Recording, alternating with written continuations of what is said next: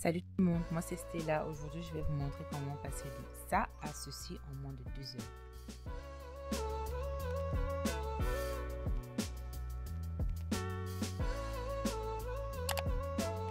Pour cette coiffure, je commence avec des cheveux étirés et si tu n'as pas encore vu ma méthode simple et efficace pour étirer les cheveux sans chaleur, alors clique sur l'onglet à droite afin d'en savoir un peu plus là-dessus. Je travaille toujours en section pour me faciliter la tâche et je commence ici par huiler mon cuir chevelu et mes longueurs avec la bombe à huile de la marque ORS. Comme j'ai fait mon shampoing sans faire de bain d'huile, j'insiste bien sur les racines et ça permet aussi de les assouplir.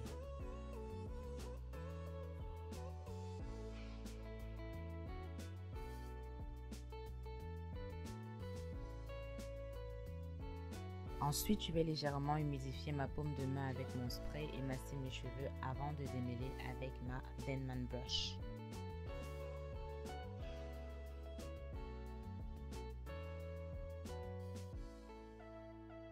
J'insiste surtout sur les pointes pour avoir de belles boucles bien définies.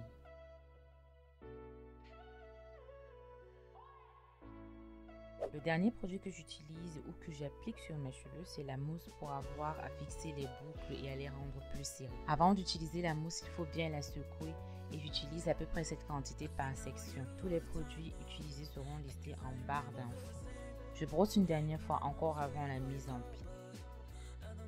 Pour ce faire, je tourne les cheveux sur eux-mêmes. Je coince un ou deux doigts entre la racine et les pointes et je tourne les mèches de cheveux plusieurs fois sur elles-mêmes. Pour ne pas avoir les racines trop tendues, au fur et à mesure que je tourne, je décoince mes doigts, bref l'image parle d'elle-même.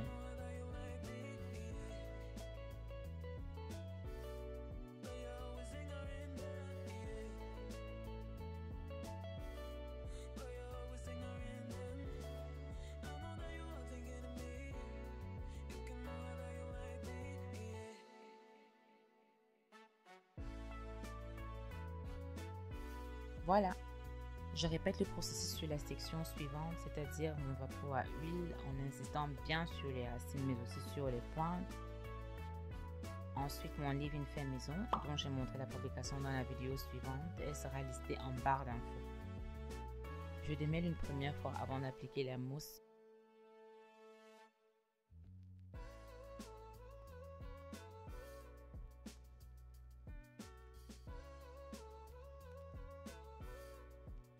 Ensuite, je démêle une seconde fois pour avoir une section bien lisse.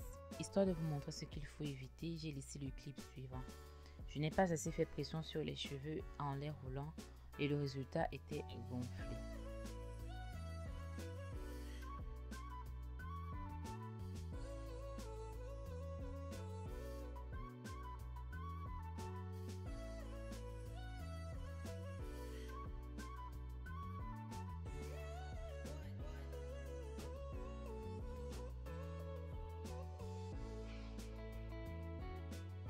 Au final, j'ai trouvé une meilleure astuce en roulant et en twistant les cheveux sur eux-mêmes en même temps. Ça facilite la mise en pli et ça donne des boucles plus serrées et donc plus définies.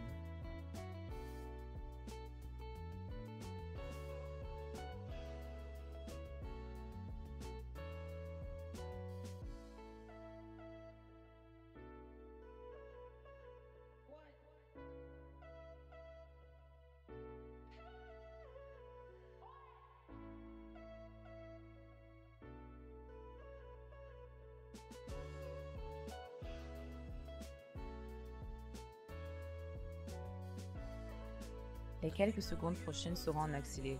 Et la seule chose que j'ai ajoutée c'est le déménage au peigne lorsque la touffe était vraiment en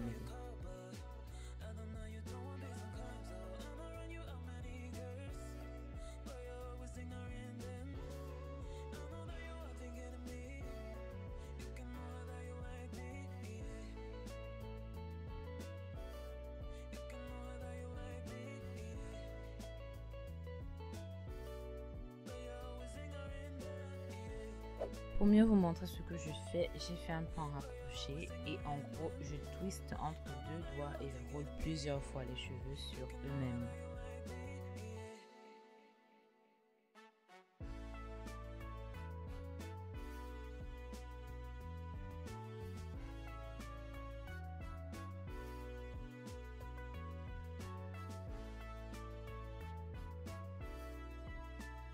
Pour avoir les cheveux bien brillants et éviter d'avoir un cuir chevelu sec et irrité, il faut penser à bien huiler ses racines entre ses coiffures protectrices. Une fois la mise en plus terminée, il ne reste plus qu'à sécher ses cheveux. Vous pouvez les laisser sécher à l'air libre. Il vous faudra par contre compter entre 6 et 8 heures d'attente pour les avoir bien secs. Ou comme moi, utilisez un bonnet chauffant rattaché à un sèche-cheveux.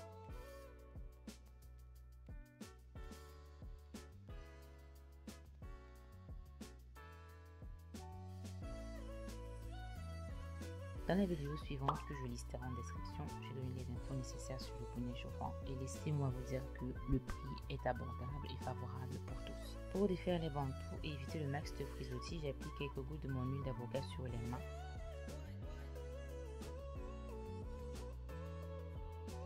Et j'utilise légèrement sur les cheveux comme ceci. Et pour vous montrer à quel point je les ai bien serrés, regardez combien est-ce que celui-ci particulièrement est difficile à défaire. Bref, ensuite je sépare chaque boucle individuellement pour maximiser le volume. Retenez ceci, plus on sépare, plus il y aura de volume et on aura aussi plus de frisottis et donc moins de boucles définies. Comme je n'étais pas satisfaite de la raie au milieu, j'ai décidé de m'en créer une de côté.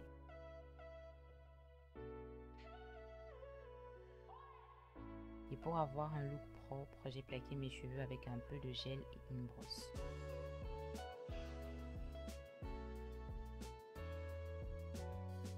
Histoire de garder les bancs de cheveux bien séparés, j'y ai ajouté quelques coiffes de part et d'autre.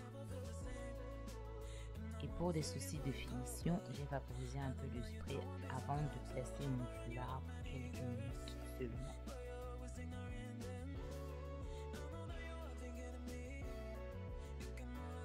Pour un éclat des boucles, mais aussi un look fini, j'ai vaporisé une dernière fois mes cheveux avec ma bombe à huile, rangé quelques mèches rebelles, et puis voici le résultat final un afro bouclé en à peine 1h30.